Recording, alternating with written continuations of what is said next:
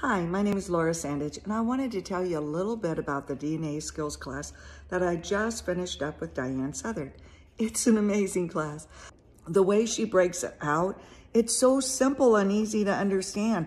I wish I would have taken this class first. It would have made so much more sense because I've taken so many classes, but I, I've spent a fortune in figuring out DNA and understanding how to do genealogy better. And really, I just needed to take this class.